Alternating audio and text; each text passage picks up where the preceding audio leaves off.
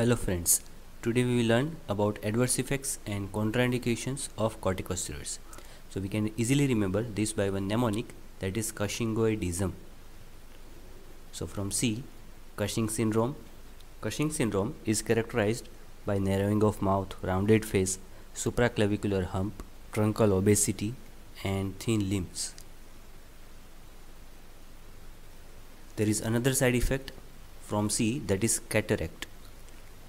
The glucocorticoids cause posterior subcapsular type of cataract.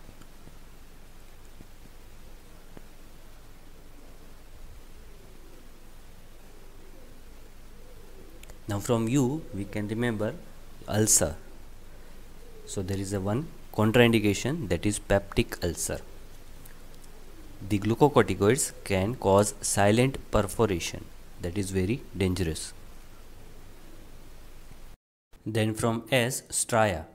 Glucocorticoids cause typical purple color stria on lower abdomen and thigh.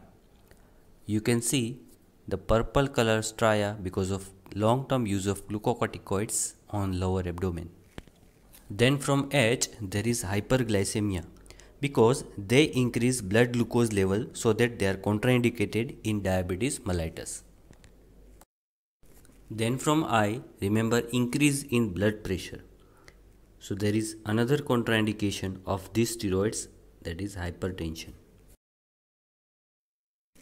And for necrosis, glucocorticoids may cause avascular necrosis of bones and joints. The most common affected bone is head of femur. G for growth retardation, mainly in children. The intrauterine growth retardation of fetus may also occur. Hence, better to avoid glucocorticoids in early pregnancy. However, dexa or betamethasone can be used during late pregnancy for fetal lung maturation. Two adverse effects from O osteoporosis as well as edema. So glucocorticoids are contraindicated in congestive heart failure and kidney failure. Next from I infections. Because of immunosuppression, there are chances of developing opportunistic infections. One of the common organisms is fungi candida. Oral candidiasis is the common complication of inhaled corticosteroids, which can be prevented by advising patient to do gargles after each dose of inhaled steroid.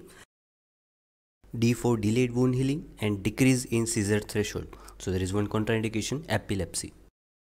From I, insomnia and mental disturbances like features, so they are contraindicated in patients with psychosis. From another is suppression of hypothalamo pituitary adrenal axis. So if steroids are given for more than 2 weeks, they should be gradually withdrawn.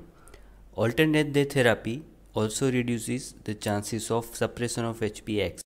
Lastly, from M, muscle weakness due to catabolic effect of glucocorticoids. So if steroids are continued for more than 2 weeks, then patient should be advised high protein diet.